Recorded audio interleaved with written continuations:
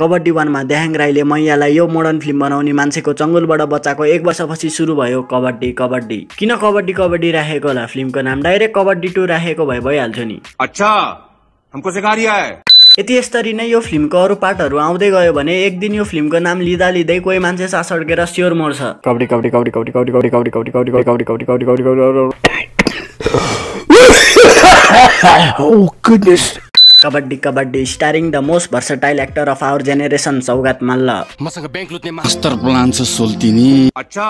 Again starring an actor who is famous for his famous dialogue Dayahang Rai supporting रोलमा starring देहाङ राईको right र left hand white बुडो and Bijay Baral kabaddi kabaddi सुरु हुन्छ। कबड्डी भइएको एक वर्षपछि र यो एक वर्षमा धेरै कुराहरू चेन्ज भइसक्यो। कबड्डीमा यिनीहरूले रक्सी राति राति मात्रै खान्थे तर यो फिल्ममा यिनीहरूले रक्सी बिहान बिहानै खान थालेका छन्। क्या बात है सर? क्या बात है सर?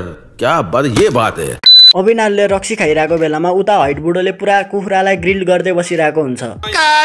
कति कालो बनाएको कुखुरा यदि गोल्डन एमजीले देख्यो भने हाइटको सातो लान्छ त्यसले।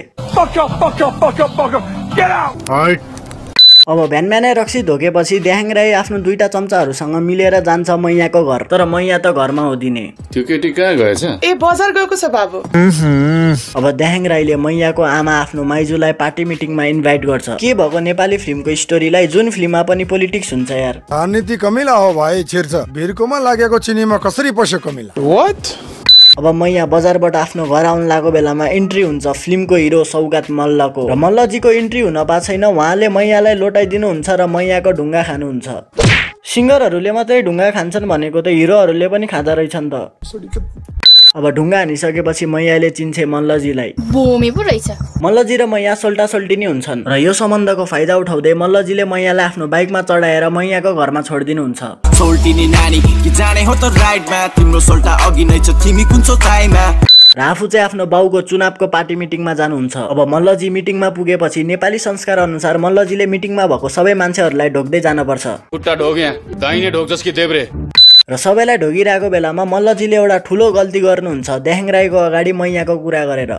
बाटोमा म यहाँ सोल्टिनले ढुङ्गाले हानेर धन्नै सहित बनाएको। र यति मात्रै होइन मल्लजीले अर्को पनि गल्ती गर्नुहुन्छ। देहाङ राईलाई रेस्पेक्ट नदिएर। हेलो म बम गाजी। अरे लातले वाक रेस्पेक्टको त बाहना हो। यसले मैया नउडाओस् भनी देहाङ राईको चाहना हो। अब बिस्तारै यो फिल्मको क्यारेक्टर्सहरूलाई प्रब्लम आउन थाल्छ। हाइटलाई प्रब्लम भएको हुन्छ त्यसको बुढीले मलाई बच्चा चाहियो भनेर। मलाई बच्चा चाहियो। उमेर गइसक्यो नि। अब अहिले नभए कहिले हुन्छ? नभएपछि के गरौँ त? खेतालो खोज्नु खेतालो? र मल्लजीलाई प्रब्लम भएको हुन्छ बाउले बिहे गर्ने केटी नखोजिदिएर। अब यो चुनावको चटारोको बेलामा म भोट मागौँ कि केटी? अब हाइटले आफ्नो प्रब्लम सल्भ गर्नको लागि जान्छ झाँक्री बुढो थिम। र झाँक्रीले हाइटलाई एउटा खतरा आइडिया दिन्छ। कालो निखुर गाईको दुधमा खिर पकाएर तिम्रो स्वास्नी यहाँ पठा म चाहिँ स्वास्नीको गुनी उछ्याएर सुतिराख। हस्। त्यही भएर मैले जहिले भन्छु गाइज यो साडीवाला बाबा यो दारीवाला बाबा र यो नारीवाला बाबाको कहिले भरोसा गर्नुहुन्न यिनीहरूले जहिले गरिदिन्छन्। अब देहाङ राई जान्छ आफ्नो मामाजी मैयाको बाउलाई भेट्न। र देहाङ राईको मामाजी चुनाव लड्न आएको छ कबड्डी वानमा लुटेको पैसाले। सबके सब चोर हैं साले। अब मामाजीले देहाङ राईलाई पैसा दिएर मल्लजीको पार्टी छोडिदिएर मेरो पार्टीमा आऊ भन्छ। तर देहाङ राई आफ्नो सिद्धान्तमा अडिराख्छ र म तपाईँको अफर एक्सेप्ट गर्दिनँ भन्छ। तर अब मामाजीले महाभारतको सकुनी मामा जसरी नै आइडिया लगाउँछ र यदि तिमी मेरो पार्टीमा नआउने भए मैले तिमीलाई छोरी पनि दिन्न भन्छ। यो कुरा सुनेपछि देहाङ राईले पैसा पनि लिन्छ र पार्टी पनि चेन्ज गर्छ। केटीले गर्दा महाभारतको फाइट सुरु भएको भन्ने सुनेको थिएँ आज देहाङ राईलाई देखेर पुरै भरोसा भयो। औरत का चक्कर बाबू भैया औरत का चक्कर। अब यिनीहरू नयाँ पार्टीको काममा हिँड्दा हिँड्दै देहाङ राईको चम्चा नम्बर टूलाई मामाजीको गर्लफ्रेन्डसँग माया बस्छ। अब देहाङ राई पार्टीको काममा हिँडिरहेको बेलामा उता मैयाले मल्लजीलाई चिया र भात दिँदा दिँदै यिनीहरूको माया बस्छ।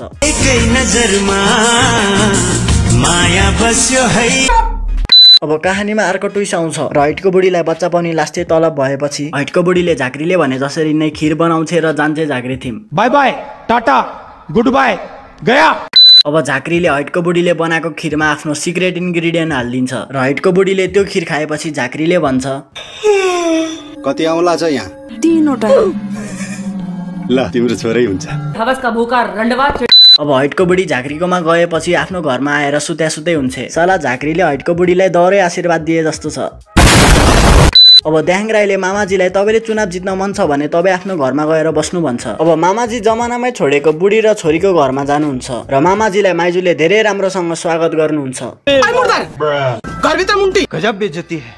अब द्याङ राईले पार्टी चेन्ज गरेको हुनाले मल्लजीको बाउले द्याङ राईलाई किन पार्टी चेन्ज गरिस् भनेर आफ्नो घरमा बोलाउँछ र यिनीहरूको सल्लाह चलिरहेको बेलामा मल्लजी र द्याङ राईको दर झगडा पर्छ।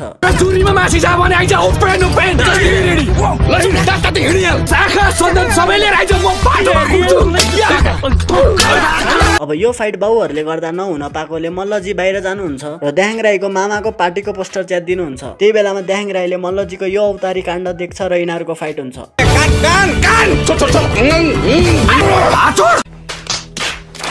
अब यिनीहरू लडिरहेको बेलामा द्याङ राईले ढुङ्गा उठाउँछ।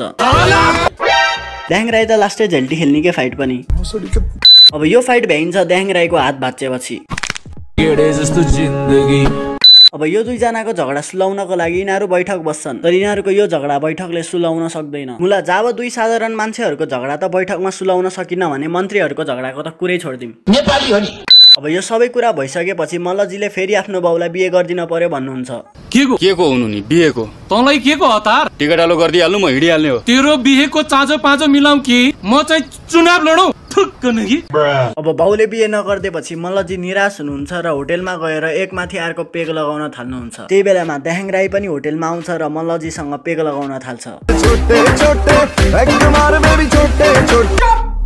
अब मल्लजीले आफ्नो सहरमा भएको लभ स्टोरी द्याङ राईलाई सुनाउनुहुन्छ। केही महिना अगाडि मल्लजीको सहरमा धेरै गर्लफ्रेन्डहरू थिए तर सबै केटीहरूले मल्लजीलाई धोका दिएपछि मल्लजी पुग्नु भयो आफ्नो ट्रु लभ अमेरिकाको डिबी परेको केटी प्रियङ्का कार्की एके लुलु थिम। र अब अमेरिका जान पाइयो भन्दै मल्लजीले लुलुलाई बिहेको लागि प्रपोज गर्नुहुन्छ। तर मल्लजीको रुममेट मोडर्न फिल्म मेकरले मल्लजीको अरू गर्लफ्रेन्डहरूको फोटो भित्तामा टाँसिदिन्छ। यो देखेपछि लुलुले मल्लजीसँग ब्रेकअप गर्छ। र यति मात्रै होइन मोडर्न फिल्म मेकरले मल्लजीलाई भड्काइदिन्छ लुलुको बिहे हुँदैछ भनेर।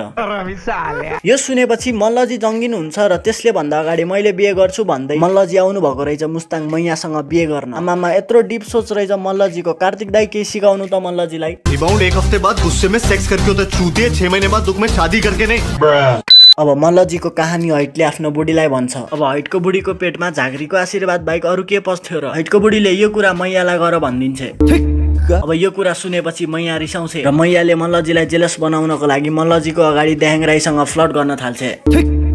अब द्याङ राई आफ्नो मामाजीलाई भेट्न जान्छ। त्यही बेलामा माइजूले द्याङ राईलाई सोध्नुहुन्छ त्यो मेरो बुढासँग हिँड्ने केटीको हो? भनेर। र द्याङ राईले यो क्वेसनको चुम्मेश्वरी एन्सर दिन्छ। तिम्रो सौ त अब के हुनु थियो र? माइजूले लहट्नुहुन्छ कुचो लिएर आफ्नो सौतालाई।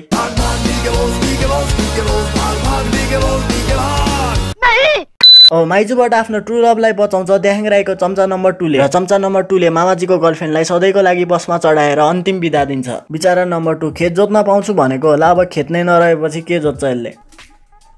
अब उता मल्लजीले मैयालाई पटाउन नसकेपछि उहाँले एउटा गीत गाउनुहुन्छ र मैयालाई पठाइदिनुहुन्छ। होइन गीत गाउँदैमा केटी पट्टिने भयो। यो भाइ अहिलेसम्म किन सिङ्गल छ? अब यिनीहरू घुमिरहेको बेलामा यिनीहरूलाई देख्छ द्याङ राईको चम्चा नम्बर टूले र द्याङ राईले यिनीहरूलाई लखर्छ मामाजीको केटाहरू लिएर। तर मल्लजी यिनीहरूको चङ्गुलबाट बाँच्नुहुन्छ। अब मल्लजी र मैयाको कुरा मैयाको बाउले थाहा पाउँछ। र रिसाएर मैया र द्याङ राईको बिहे फिक्स गरिदिन्छ। नेपाली फिल्म भयो नि अमरिस पुरीको कमी चाहिँ छैन के?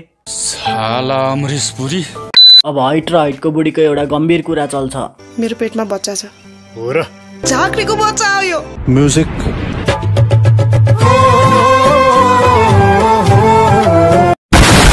अब यो कुरा सुनेपछि हैटले झाँक्रीको आशीर्वाद दिने कुरा काटिदिन्छु भन्दै झाँक्रीको पछाडि खुकुरी लिएर लहर्छ। तर झाँक्री फरार हुन्छ। अब फिल्ममै झाँक्रीको आशीर्वाद यति कडा भएपछि रियल लाइफमा त झन् के होला? ऐसे हालात में बेहतर यही है कि वक्त रहते इंसान सतर्क होकर अपने जज्बात को काबू में रखकर अपने कदम पीछे हटा ले। ख्याल रखें सुरक्षित रहें और याद रखें सही वक्त सही कदम सतर्क रहें। अब हैटले द्याङ राईसँग पैसा लिएर गाउँ छोडेर आफ्नो बुढीसँग अर्कै ठाउँमा जाने फैसला गर्छ। अब यिनीहरू अर्को ठाउँ जान लागेको बेलामा हैटले देख्छ मैया र मल्लजी त भाग्न लागेका छन्। होइन यो मैया दुईटा फिल्ममा दुईचोटि नै भागिसक्यो यार। कमल ओलीले पक्कै पनि मैयालाई देखेर यो गीत बनाउनु भएको हो अब हैटले द्याङ राईलाई फोन गरेर घटनास्थलको कुरा भन्छ। अब यो कुरा सुनेपछि द्याङ राई चट्टारेको गोरु जसरी नै मल्लजी थिम पुग्छ र यिनीहरू लड्न थाल्छन्। अब यिनीहरू लडिरहेको बेलामा मैयाले द्याङ राईलाई भन्छे। यो सुनेपछि त्याहाङ राई कमजोर हुनुहुन्छ र उहाँले यस्तो एक्टिङ गरिदिनुहुन्छ जुन हेरेर आज पनि मान्छेहरूले यस्तो कमेन्ट गर्छन्। Kaji face betrayal in love but what are natural actor our Daya sorry. No word can describe his expression of loss rejection failure sadness hope heartbreak and all this emotion all at once अरे यति धेरै expression त Leonardo डिक्याप्रियोले पनि दिन सक्दैन एकैचोटि।